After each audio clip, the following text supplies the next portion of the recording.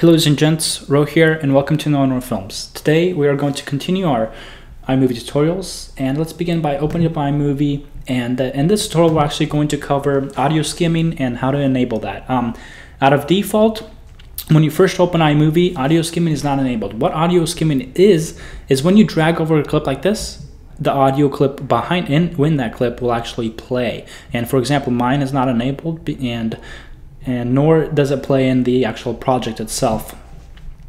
Like if you're in an event, you can uh, simply skim the audio and be able to hear it in the background. So the way you enable that is to go to the very top of your screen. It says where it says iMovie file, edit, mark, modify, view.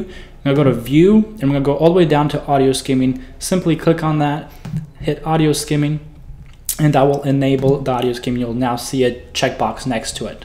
Now if we go over a clip, just like that, drag over a clip, you'll be able to hear the audio and you're basically skimming the audio. And most people actually find this quite useful, but I haven't actually used it. I don't, the best way I find to skim audio is by simply hitting the play button and then I can hear the audio. Also, the main reason it sounds so weird like that is because I do have it zoomed in. You can adjust zooming in and make it 10 seconds or 2 seconds. That way you can, when you skim over it, it sounds like real time.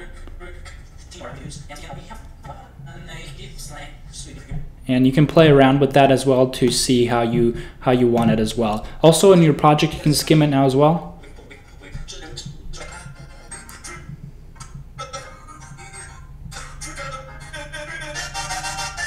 And there you guys are. That's audio skimming. I'm going to go back and disable mine under view and uh, there you guys have it. Thank you guys for watching this tutorial. Catch you guys next tutorial and later.